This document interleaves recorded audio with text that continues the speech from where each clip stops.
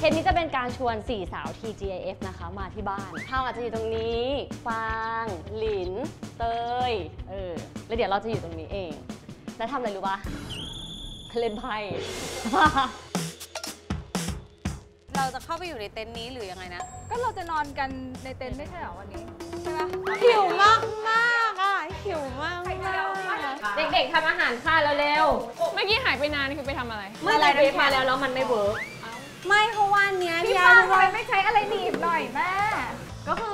ไปมีสมาชิกใหม่ของบ้านนี่จะได้อุ้มหลานเหรออะไร อันนี้เอาจริงๆเหรอ นี่พูดจริงๆเหรอไม่ตัว